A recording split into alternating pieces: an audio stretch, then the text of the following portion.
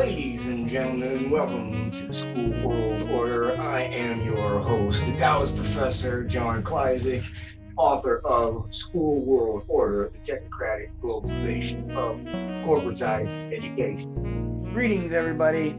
Today's report is going to expand on the thesis of my book, School World Order, the Technocratic Globalization of Corporatized Education which breaks down the ways in which the education technology industry is advancing two ulterior agendas. The first being to data mine students in order to develop artificial intelligence algorithms and social credit databases, and the second being to engineer a new transhuman species. So, my book examines a series of evolving education technologies, beginning with screen based technologies, then moving to wearable technologies, and then eventually to implantable technologies. So, in particular, the book first examines screen based technologies known as adaptive learning courseware, which data mine students' cognitive behavioral algorithms, or in other words, their thinking algorithms.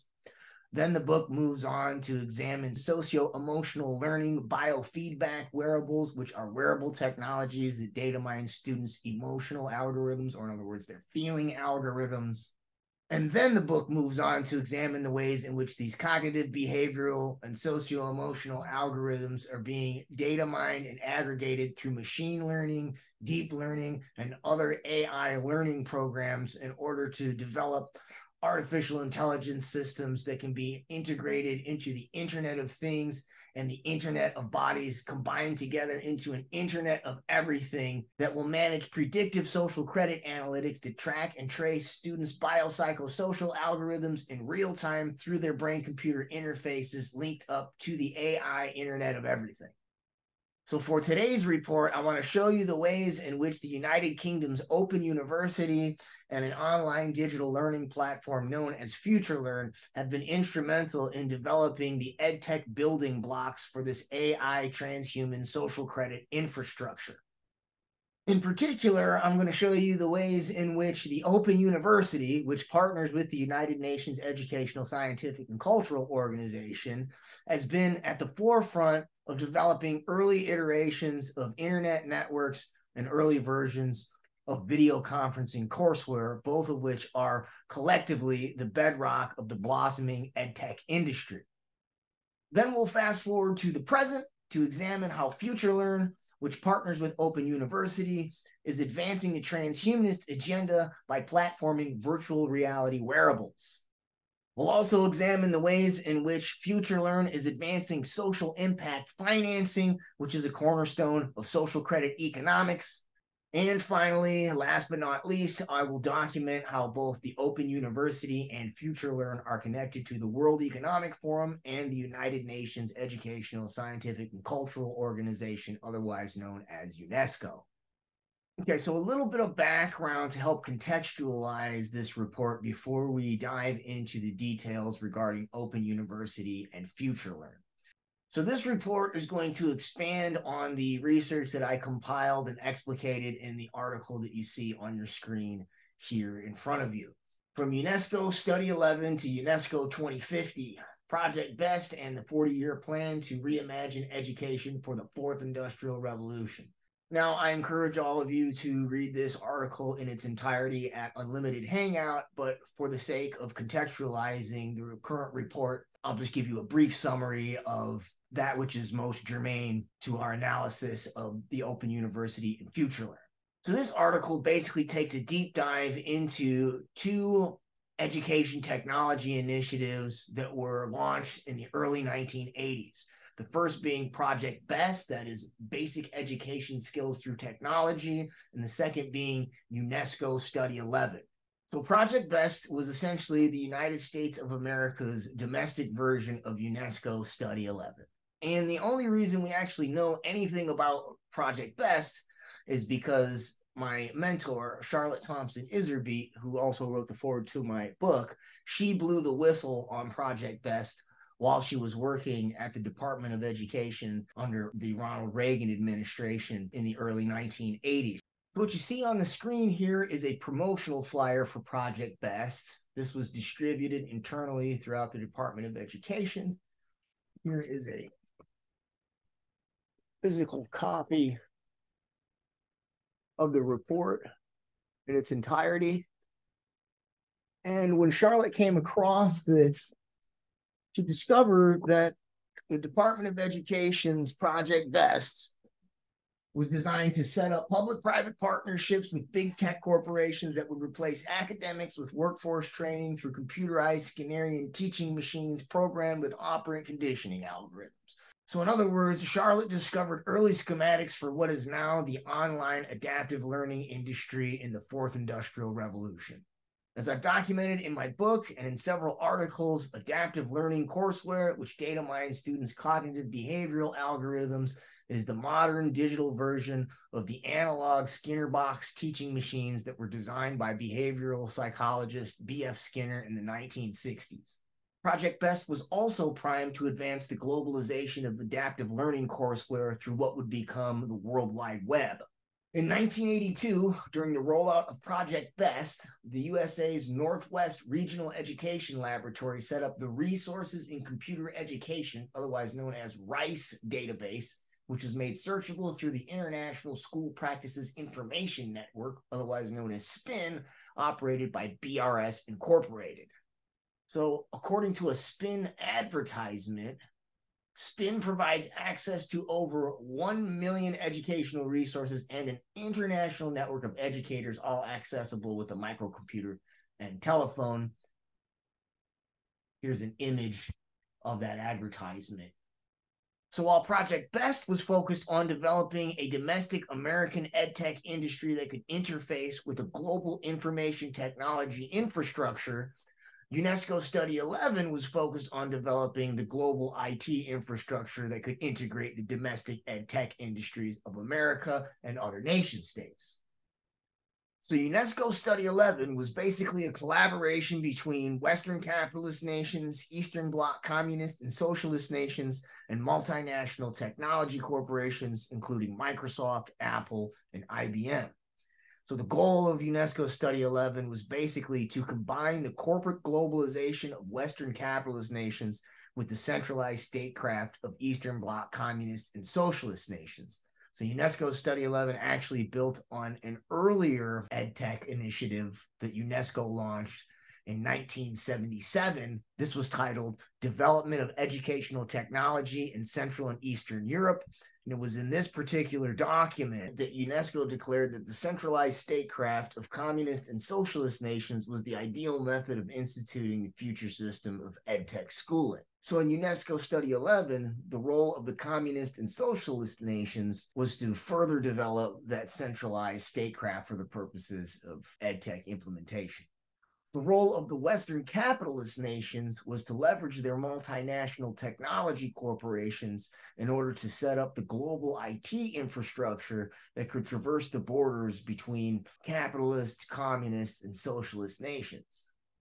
Fast forward to 2020, and the centralized statecraft of communist and socialist nations was exploited on a global scale as the World Health Organization directed the entire planet to mandate lockdowns that forced everyone to utilize the global e learning infrastructure that was facilitated by the big tech corporations of Western capitalist nations. So we see that in the fourth industrial revolution, UNESCO Study 11 comes to fruition through the synthesis of corporate globalization and communist central planning for the purposes of installing a worldwide system of edtech cybernetics. Okay, so now how does UNESCO Study 11 connect with Open University? Well, in several Study 11 white papers, the Open University's model of distance learning was endorsed as an ideal delivery system for piloting experimental online courseware products. All right, so let's take a closer look at the Open University and how it set the mold for distance learning, which is now ubiquitous with virtual online learning. All right, so it says in 1969, one ambition changed the world, giving anyone anywhere the power to learn, established by the Royal Charter and globally recognized.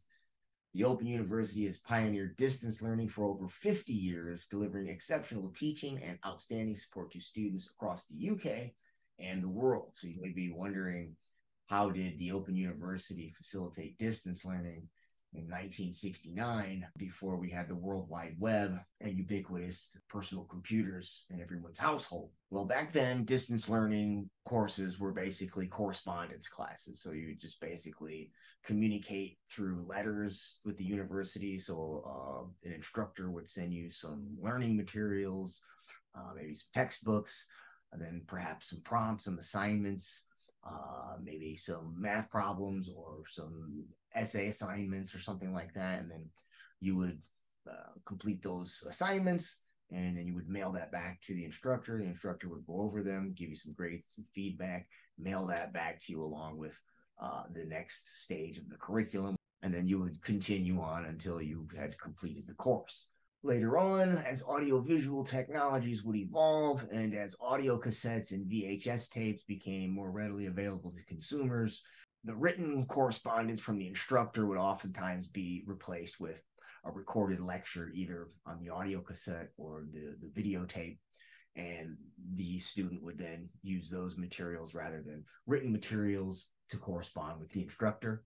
And this is keen to note because when we take a look at the Open University's involvement in the development of the Cyclops video conferencing technology, you'll see that the infographic schematics that we'll be looking at basically demonstrate that these early iterations of video conferencing technologies were basically nothing more than a television, a cassette player, and a telephone cobbled together with a microprocessing computer and a modem. So basically, for the last 40 plus years, the main objective of the ed tech industry has been to augment the old audiovisual technology industry with microprocessing computers. And the result is that Today, distance learning and virtual online learning are synonymous. There are no longer any correspondence courses that fall under the distance learning umbrella, whether through written correspondence or through audio, video, cassette correspondence. And with the help of global education technology initiatives such as UNESCO Study 11, the UNESCO Global Education First Initiative, and the UNESCO Global Education Coalition, with the help of the Open University, the result has been that distance learning is now synonymous with virtual online learning. All distance learning courses are now facilitated through courseware and video conferencing platforms on the World Wide Web. And not only did UNESCO Study 11 endorse the Open University's distance learning model, but currently, the Open University is actively collaborating with UNESCO. So, this woman here, Catherine Jewett, she is the Open University Associate Lecturer, and she has been appointed co lead of the Education and Digital Skills team within UNESCO's Inclusive Policy Lab. And at the same time, Chancellor is the Baroness Lane Fox of Soho. And she just happens to be a young global leader of the World Economic Forum. There she is right there. Martha Lane Fox, UK digital champion, United Kingdom. All right, so let's take a look at some of the UNESCO Study 11 endorsements of the Open University's distance learning model. So we're looking at my database here on the screen. You can access this through my website, schoolworldorder.info. So let's navigate our way to the UNESCO Study 11.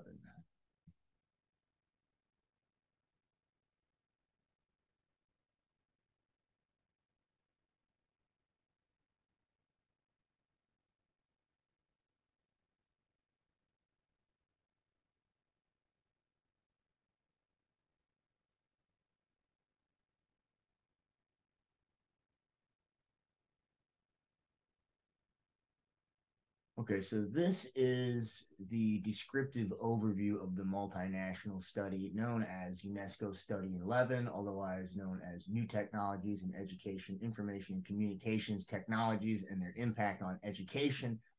So, this white paper was authored by the United States of America's UNESCO liaison, Lawrence P. Grayson. And this file was given to Charlotte, who then gave it to me along with several other UNESCO Study 11 white papers issued by the various nation states involved in the initiative.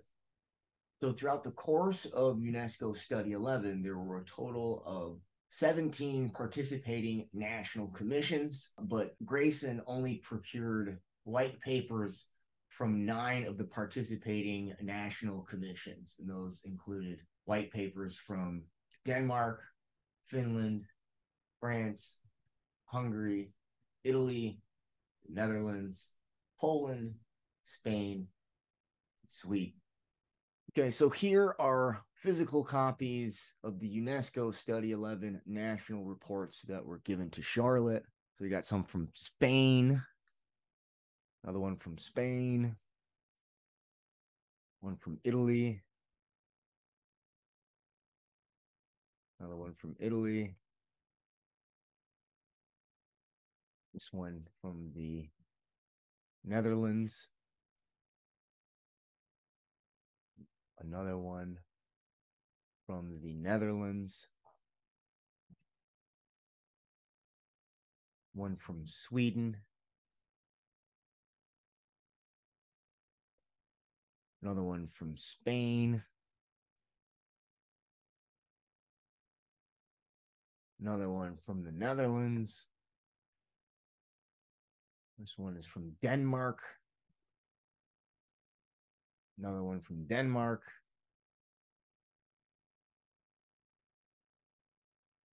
This one is from Finland. This one from France.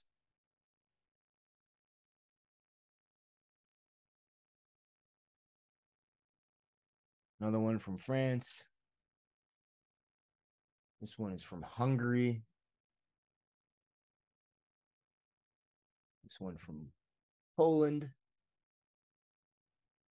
Another one from Poland. Again, another one from Poland. And then one more from Spain. So, in the reports from Poland, Spain, the Netherlands, and Finland, there are several endorsements of the Open University's distance learning model as the ideal delivery system for experimenting with burgeoning computer assisted ed tech products. Okay, so let's just take a look at some of these endorsements here. So let's start with the Study 11 report from the Netherlands. Okay, so this Study 11 report from the Netherlands is concentrating on the ways in which the Netherlands can transition from audiovisual ed tech to computerized ed tech. And there is an entire section devoted to exploring the prospects of the Open University's distance education model as the ideal delivery system for streamlining the new wave of computerized ed tech. So go ahead and read this section here. It says, the Open University has recently designed a strategy for the integration of media and distance education. The choice of media has been based on the following three factors. One, analysis of the functions the media have to serve in the teaching process. Two, finding the optimal combination of medium and teaching functions. The most important criteria are A, presence of the medium at the student's home, B, cost of purchasing the medium by the student and by the Open University, C, the degree to which the medium allows future changes of the learning materials. D, the degree to which the medium admits exchange of materials with other universities. Three, analysis of the existing media on the market. The Open University expects the following media to be present in 1987. A, at the student's home, an audio tape deck, TV, telephone, video recorder, programmable pocket calculator. B, to be acquired by special groups of students for use in the Open University courses video recorder, microcomputer, Viditel, teletext. C. Only to be used in a study center. Large computers, VLP, retrieval systems for literature search. Four. Also, optically readable records will be used. The order of introduction of media. One, immediately, optically readable records, teletext, audio tape. Two, after some technical and organizational preparations, TV, computer as computing tool, Viditel. Three, in the long run, videotape, computer based learning, and VLP.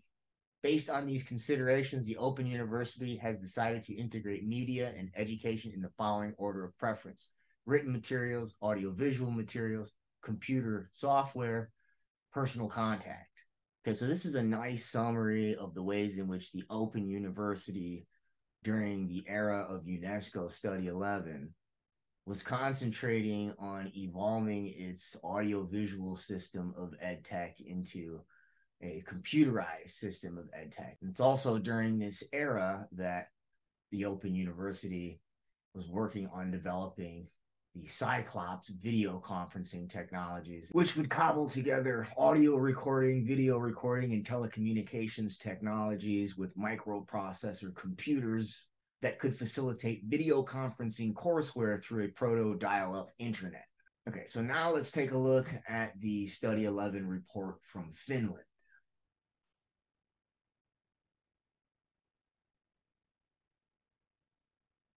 Okay, so this white paper is titled New Technologies in Education Review of Applications in Finland. And this one explores the prospects of several burgeoning computerized ed tech products, including a talking computer known as Didata, which has been taken into use in both special education and so called normal education. The Didata equipment consists of a central processing unit, a keyboard, a speech synthesizer, a cassette unit, and a printer. The report then goes on to declare that computer based education systems and teleinformatics would create new possibilities also for distance teaching. They could be exploited in the open university, for example. So, again, we have the promotion of the open university's distance education model as the ideal delivery system for streamlining the new generation of computerized ed tech. All right, so next, let's take a look at a Study 11 report from Spain. Okay, so this white paper largely focuses on Spain's transition from audiovisual ed tech to computerized ed tech. So, in a section titled Current Use of Video Technology in the Spanish Educational System, this white paper explores several video production companies that specialize in educational media. And one of these companies is known as Ancora Productions, which at the time of this white paper in 1984 was the exclusive agent for the Open University, the splendid BBC production. So the Open University partnered with BBC, the British Broadcasting Corporation, and Ancora Productions. And yes, the Open University continues to partner with the BBC today. So you can see here on their website, it says unique partnership with the BBC, British Broadcasting Corporation. For over half a century, the OU and the BBC have been co producing inspirational content with a mission to bring learning to life for millions of people. Okay, so now let's take a look at the Study 11 report from Poland. Okay, so this white paper is titled Joint UNESCO Project of the European Region New Technologies in Education, Information and Communication Technologies, and Their Impact on Education, UNESCO 11, Poland National Report, submitted by the Polish coordinator, Alfred Andris. So, like the previous white papers that we've looked at, this Study 11 report floats strategies for transitioning Poland from the old system of audiovisual ed tech to the new system of computerized ed tech. So it says treating education as ability to self instruction to lifelong education, one should expect school to provide pupils with the following. So it's got several bullets here. And then after the third bullet, it says the equipping of schools with technical devices, possession of these devices by schools, and their constant usage in didactic processes can shape the technical abilities and habits of students. The equipment of schools with audiovisual devices can't be too expensive. Necessary equipment should include TV set, videotapes, and cassette tape recorders, and in future, computers. And in pursuit of this transition from videotapes and cassette tapes to computerized ed tech, this white paper highlights the role of the radio and TV open university for teachers. So it says at present, the Committee for Polish Radio and Television is working on the future structure of the Open University. Poland has many experience on this field of activities because from many years till now, the Radio and TV Open University for Teachers is at work, as well as the Radio and TV Secondary School of Agriculture. Now, to be sure, this Radio and TV Open University may in fact be an offshoot of the United Kingdom's Open University.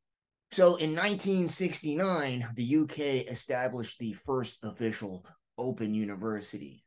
Thereafter, numerous other nation states have instituted their own versions of open universities. So here is a list of open universities across the planet. Got Nigeria, Ghana, Tanzania, Sudan, Zimbabwe, Botswana, Bangladesh, Turkey, India, Saudi Arabia, Palestine, Philippines, India, Vietnam, Iran, South Korea, Nepal, Malaysia, Israel, Sri Lanka, Russia, Philippines, Thailand, Japan, Indonesia, Pakistan, Australia, Greece, Ukraine, Spain, Turkey, Serbia, Netherlands, Cyprus, Canada, United States, Barbados, British Virgin Islands, Mexico, Argentina, Colombia, Venezuela. You'll also notice here that almost every one of these colleges is a DL or distance learning college. The DL stands for distance learning, PC stands for physical campus. So almost every single one of these open universities emphasizes distance learning as opposed to classroom learning, although some of them do also have a physical campus. And then occasionally some of them only have a physical campus, but the vast majority of them emphasize distance learning above classroom learning in person. Okay, so now let's take a look at the Open University's involvement in the development of the Cyclops video conferencing ed tech. Okay, so here are some hard copies of some of the academic journals, white papers, and research abstracts detailing schematics for the Cyclops video conferencing technology. So you can see this first one was published by the Open University. The title is Cyclops in Schools, a small pilot study, a report for the Microelectronics in Education program. Then we have another white paper titled The Effects of Microprocessor and Telecommunications Technology on the Open University's Teaching and Administrative Systems. And you can see that this report is also copyrighted by the Open University.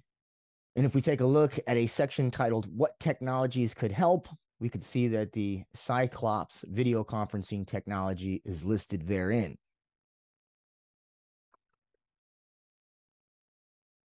In this document, we have a catalog of research abstracts. So the title of this document is Program Institutional Research 1982, which collates an exhibition and a series of seminars of research and development directed at improving the teaching and operational effectiveness of the Open University.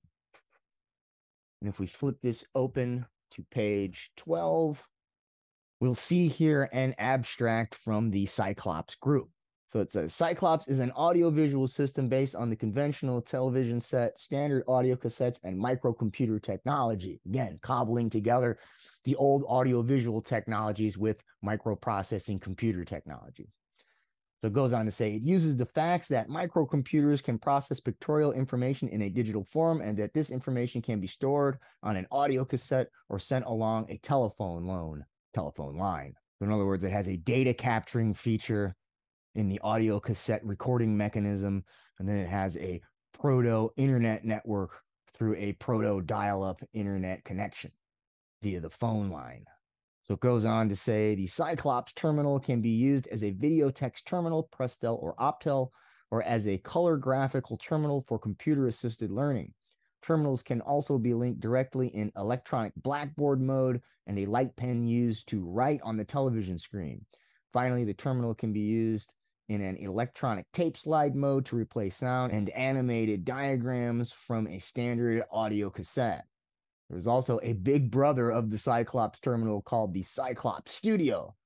This allows one to draw graphics and diagrams and store them on audio tape or computer systems.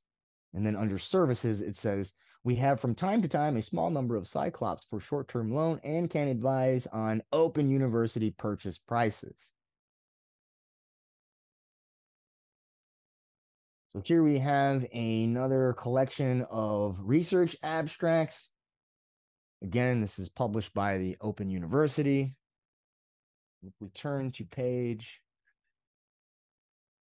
128, we'll find an abstract from a research paper that promotes the use of the Cyclops Ed Tech. So the title of the paper is Applying New Technology to Distance Education, a case study from the Open University of Difficulties in Innovation. And the abstract reads as follows Cyclops is a good example of the possibilities for education on new microprocessor technology. Cyclops also provides a good case study of some of the difficulties to be encouraged in innovating with new technology in large educational institutions. The system is briefly described, followed by an analysis of the financial difficulties encountered in moving from a prototype to a developmental stage the teaching functions, the way the tutoring would be organized, regional acceptance, and difficulties at local centers with the technology itself are described. Finally, a number of general observations are made about the problems of innovation arising from this case study. All right, and so this last one is a journal article authored by a Diana M. Laurillard, who was a lecturer at the Open University. The title of this article is The Potential of Interactive Video. The abstract reads Interactive video combines two well established media, video cassette and computer assisted learning, in an attempt to combine the advantages and overcome the deficiencies of both. The paper describes a feasibility study of the medium using a package that includes a video presentation intercut with interactive computer assistive learning programs on the subject of signals in communication technology. The necessary hardware is described and two ways of authoring the educational software are compared. Finally, the educational implications of the new medium are discussed together with a consideration of the logistic and administrative problems it presents. So this article does not actually examine the Cyclops version of interactive video, but it does examine other schematics for alternative versions of interactive video courseware. So here we see a diagram detailing one method for interfacing VCR, audiovisual TV technologies with a microprocessing computer drive. So here are some screenshot images of various learning modules transmitted through an interactive video courseware system.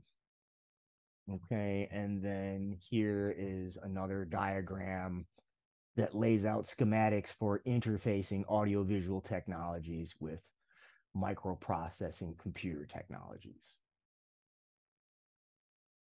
So this last journal article here along with all of these other journal articles, white papers, and research abstracts, were given to Charlotte by Lawrence P. Grayson, the same guy who gave her all of the UNESCO Study 11 white papers. And in fact, these documents were collated in the same manila file along with all the other UNESCO Study 11 white papers. So in other words, Grayson was highlighting for Charlotte the ways in which the Open University's development of Cyclops interactive video courseware was part and parcel to UNESCO Study 11's development of an international IT infrastructure that could facilitate the globalization of digital online learning. All right, so let's take a look at some more of these Cyclops schematics. Okay, so this Open University paper lays out an infographic that diagrams the Cyclops main studio. So this iteration of Cyclops includes a video input involving a camera, a cassette recorder involving a microphone, three monitors, a VDU, a black and white monitor, and a color monitor. The VDU lists instructions shows choices available. The black and white monitor previews the work. And then the color monitor displays the completed work. Next, we have a bit pad with a light pen that can draw freehand graphics. Then we have a keyboard, which can control the computer commands. It can type text onto the screen, and then it can store or retrieve information from the computer, which is the last device that we have up here. You can see it has a couple disk drives, and it's this computer that interfaces all of these other various audio visual technologies together, along with the light pen and the bit pad. Next, we have the Cyclops Mini Studio. The main differences between the Mini Studio and the main studio are that the Mini Studio has only one monitor, whereas the main studio has three monitors, while the Mini Studio has two audio recording technologies, whereas the main studio has only one audio recording technology. This mini studio is also missing the bit pad, but it still has the light pen. The light pen is hooked up directly to the monitor, and the light pen can write directly on the monitor. The two different audio recording technologies perform two separate functions. So the one on top of the table is for playback and recording of material created in real time and the one under the table records a comprehensive log of all of the students' responses to all the various e-learning stimuli transmitted through the Cyclops courseware. The junction box basically serves as sort of a switchboard that controls the two different cassette recording technologies. And then the Cyclops box is basically the computer that interfaces all of these audio visual technologies together with the light pen and the keyboard. Okay, and then this last infographic here is a diagram of a possible future Cyclops setup in schools. So you can see that in this future Cyclops model, we have only one monitor, a color TV monitor, and only one audio recording device. The microprocessing computer, the keyboard, and the light pen are all integrated into a single device, which is hooked up to a telephone line that can facilitate an early dial up internet connection through what was then known as the Prestel Internet Network, which linked up with other schools. All right, so now let's take a look at one more set of schematics so that we can examine how the Cyclops EdTech system was designed to facilitate digital distance learning through what is now known as the worldwide interweb. Okay, so this Open University paper explores the ways in which Cyclops EdTech can enhance distance learning programs that used to be delivered through telephone teaching and telephone tutoring systems. Okay, so this infographic diagrams four different methods for facilitating telephone teaching and telephone tutoring. So in the first method, we basically have a simple one-to-one connection between a tutor and a learner, both of whom are operating from their own homes. In method two, we have a one-to-one connection between two learning centers. So we have one telephone connecting two different learning centers, each of which would host a classroom filled with a diversity of students who are guided by a tutor or instructor. In method number three, we have one tutor operating from his or her home using a conferencing bridge through which he or she can interact with multiple students who are learning from their own homes. And then in method four, we basically have a combination of method three, which utilizes a conferencing bridge, and method two, which interfaces two learning centers together. So in method four, we basically have one tutor operating a conferencing bridge that can interact with several different learning centers and all of the students and instructors in those centers. All right, so now if we scroll down a little bit here, we will see how the Open University advocated for replacing the old telephone teaching and telephone tutoring systems with Cyclops interactive video technologies. So it says the lack of visuals and the strain and frustration caused by technical difficulties in using the public telephone system for group teaching have been some of the reasons why telephone teaching has not been more extensively used. Cyclops is seen as one possible way to overcome some of these difficulties. It has been invented and developed by staff at the Open University with assistance from a British firm, Aragon Limited. Basically, Cyclops converts a visual signal into a digitalized audio signal and or converts back a coded audio signal into a video signal by use of a memory store and a microprocessor. The coding of visual signals in terms of sound means that the visual information can be transmitted or stored on a much narrower bandwidth than that required by broadcast television. Thus, the coded visual signal can be sent down standard telephone lines, stored on one track of an audio cassette, or even transmitted as a radio signal. Cyclops does not have the full information capacity of broadcast television, but it can be used for drawings, handwriting, simple animated graphics, and still pictures fully integrated with a separate soundtrack. The Cyclops box is connected to an ordinary TV set by means of a standard RF aerial connection. A light pen can be connected to the Cyclops box. When the pen is pressed against the TV screen, a menu of commands appears on the screen draw, line, erase, wipe. See appendix number one. If the command draw is touched by the light pen, the screen can be used as a blackboard. Anything written on the TV screen could be sent down a telephone line if a telephone was connected to the Cyclops box, or recorded onto a standard audio cassette if a cassette recorder was connected to the Cyclops box.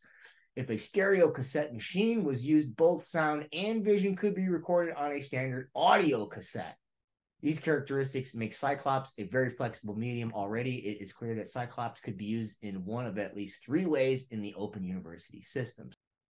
So, those audio cassette recording devices that we saw in the infographics for the main Cyclops studio, the mini Cyclops studio, and the future Cyclops studio, those audio cassette recorders can store not only audio data, but they can also store visual or video data. So the visual imagery produced by the light pen on the monitor, that visual data can be funneled through the Cyclops microprocessor, which can convert it into an audio signal that can be stored on the audio cassette. And then that audio cassette can be used to retransmit that audio data back into the Cyclops box or another microprocessing computer, which can then reconvert that audio data back into visual data that can then be displayed on a monitor or another television screen. Now, this is super important to note here because it shows that the early Cyclops prototypes for video conferencing software were from the get go embedded with data mining features that have been carried over into the contemporary era of digital adaptive learning courseware and socio emotional biofeedback wearables both of which are primed to funnel all of those student learning analytics into social credit databases.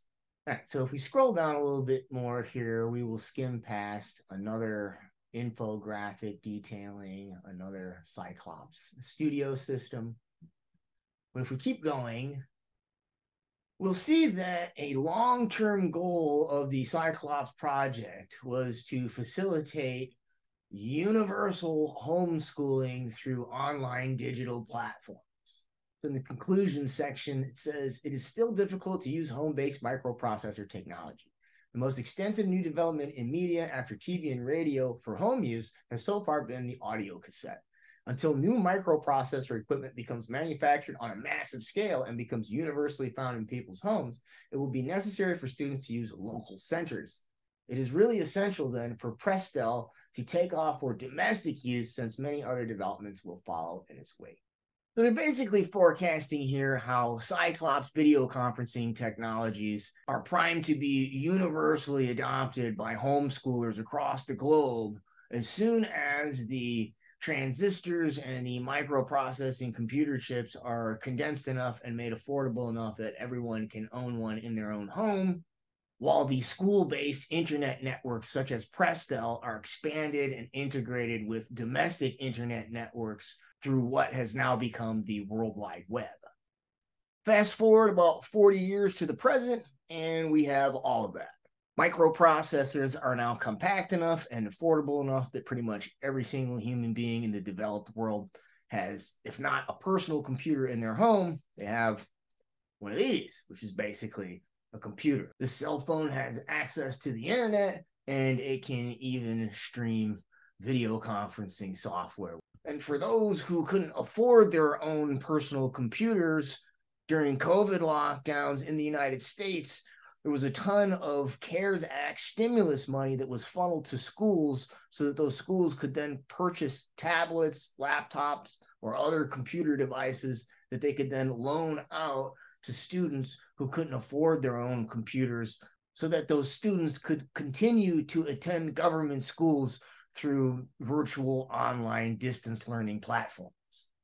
Enter FutureLearn, an online digital learning platform created by none other than the Open University. So if we scroll down a little bit here, this is the FutureLearn website. The About page says, in 2012, the Open University founded FutureLearn to extend its mission to open education to all.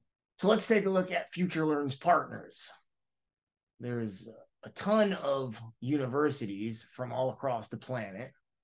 And then we have an array of FutureLearn partners that are categorized as specialist organizations.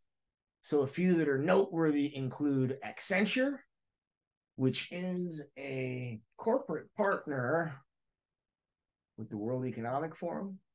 So listed here under partners. Then we have Kaplan, which traffics in educational technology services. We also have the Lego Foundation. Here we have the infamous Tavistock Institute of Human Relations, which is notorious for spearheading mass social engineering operations. If you're curious to know more about the Tavistock Institute, I recommend this book by Dr. John Coleman. The title is The Tavistock Institute of Human Relations Shaping the Moral, Spiritual, Cultural, Political, and Economic Decline of the United States of America. Next, we have the UNESCO Institute for Lifelong Learning and the UNESCO Unitwin Complex Systems Digital Campus. Then we have Wellcome Connecting Science, which according to the Wellcome Sanger Institute, is funded by the Wellcome Trust, which is a corporate partner with the World Economic Forum. The Wellcome Trust is also institutionally yoked to the British Eugenics Society, which changed its name to the Galton Institute and then changed its name again to Adelphi Genetics. If you want to read more about the connections between the Wellcome Trust and the British Eugenics Society, you can read this article here on Unlimited Hangout, authored by Jeremy Loffredo and Whitney Webb. Title is Developers of Oxford AstraZeneca Vaccine Tied to UK Eugenics Movement. FutureLearn also partners with VR Voom, virtual reality Voom. So scroll down a little bit here says VR Voom has a specialist education team ready to empower future generations with the knowledge and tools to unleash creativity. VR Voom offers scaffolded learning programs for all learners based on a design thinking approach. They utilize their know how to provide interactive and engaging learning opportunities through a hands on, practical approach. Their operations range from running location based VR experience premises in Auckland, exploring VR content by remote learning or hybrid presentations, to licensing their own VR creations globally. So, in the same way that the online digital video conferencing software that was prototyped in Cyclops was designed to basically be an evolution of the old audio visual ed tech, virtual reality or VR ed tech is going to be a comparable evolution of those online digital video conferencing platforms. So basically, instead of video conferencing through two dimensional screens, you're going to virtual conference in a three dimensional metaverse space. And all of the same key institutions, UNESCO and the Open University, which were instrumental in evolving AV EdTech into digital online EdTech. Those same institutions, UNESCO and the Open University, along with the Open University subsidiary FutureLearn, are now at the helm of advancing screen based video conferencing courseware into VR metaverse conferencing courseware. All right, so the last Future Learn partner that we are going to take a look at falls under the category of associate partners. And the one I want to zoom in on is called social finance. So, what is social finance?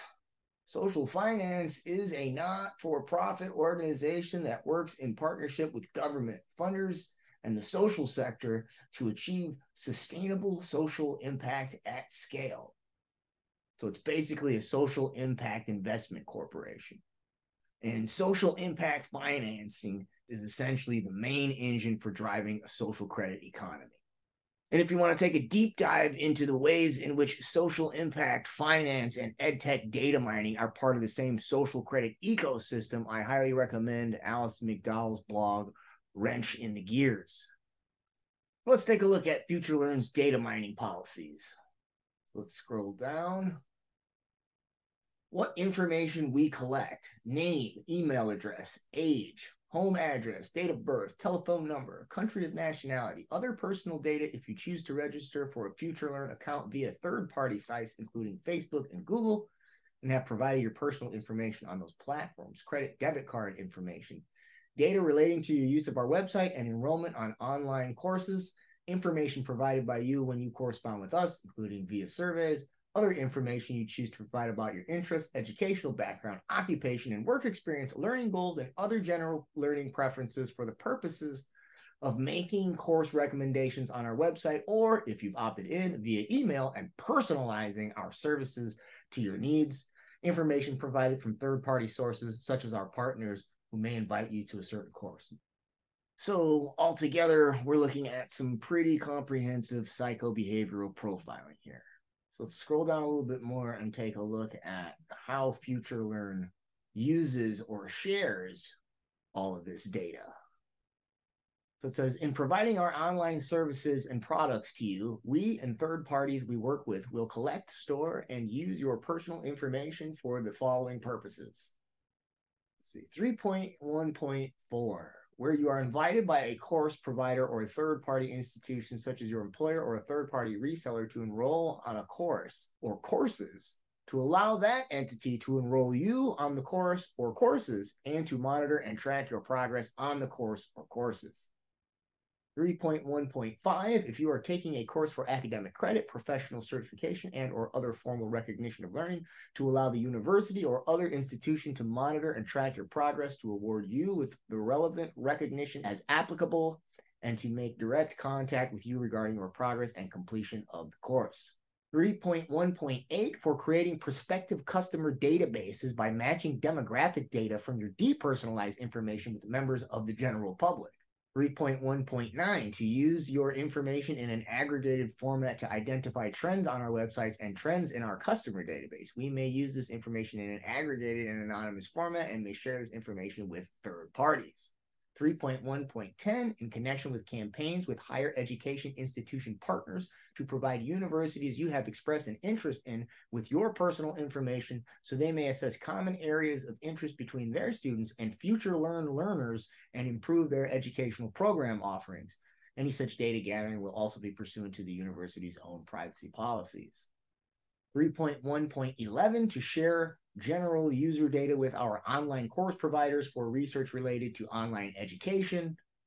3.1.15 to personalize our services, the FutureLearn website, any email communications, and the FutureLearn app so as to best meet your needs, for example, by providing tailored course recommendations.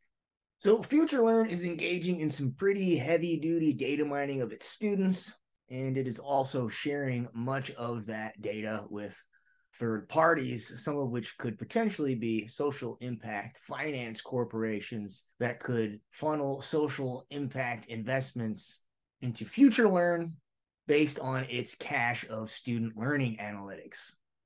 And as Future Learn branches out into virtual reality platforms, VR headsets and other neurofeedback wearables will enable Future Learn to data mine an even broader spectrum of psychometrics. Eventually, according to Ray Kurzweil, VR platforms will be transmitted directly into a student's nervous system through his or her brain computer interface. At this point, data mining through screen based technologies and wearable technologies basically becomes obsolete as the entirety of a student's biopsychosocial algorithms can be directly data mined through his or her brain computer interface, which can then funnel those psychometrics and biometrics into a social credit database managed by AI through the Internet of Everything. All right, so the last thing I want to show you is a little peek at the Future Learn leadership team. In particular, I want to take a look at the advisory board members, and I want to zoom in on this guy right here, Sir Michael Barber. Michael Barber is also a member of the World Economic Forum. He's also a partner at McKinsey and Company and he is the chief education advisor for Pearson PLC. That's the Pearson Education Company. It used to traffic primarily in educational textbooks, but in recent years, it has expanded its operations and branched out into providing a vast array of ed tech products and services, many of which are scrutinized in my book, School World Order. So, in brief, both FutureLearn and the Open University are overseen by members of the World Economic Forum. So, Michael Barber is a FutureLearn board member. And if you recall, the Baroness Lane Fox of Soho, who is a young global leader of the World Economic Forum, is the chancellor of Open University.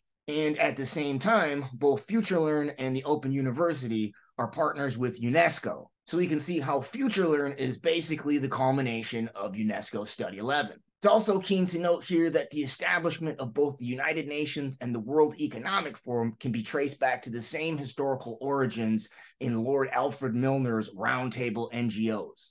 For a detailed summary of that history, check out this book right here by Dr. Michael Rectenwald. The title is The Great Reset and the Struggle for Liberty. It's worth noting here that I compiled most of the research for chapter eight, which is titled The Roundtable Roots of the Great Reset, which documents the roundtable origins of both the UN and the World Economic Forum. These common roundtable roots of the UN and the World Economic Forum signify how the global edtech innovations of FutureLearn and the Open University have been steered by the UN and the World Economic Forum to pave the way for the transhumanist edtech panopticon of the Great Reset and the Fourth Industrial Revolution, which are now being spearheaded by the UN and the World Economic Forum. If you enjoyed this video, please like, subscribe, and share. If you'd like to check out more of my research, go to my website, schoolworldorder.info, where you can find archives of all my interviews, all my articles, and a bibliography of all my citations. There's also links to all my social media and video platforms, and you can sign up for my email list too where you will receive notifications whenever I produce a new article, interview, or video. To support my work, become a research member for just $5 a month, and you'll gain access to my WebBrain database, which contains Charlotte Thompson Iserbyt's archive of U.S. Department of Education files and other rare historical documents. The database will be updated with weekly document dumps, and you will be notified whenever I upload a new dossier. Thanks again for watching. Peace.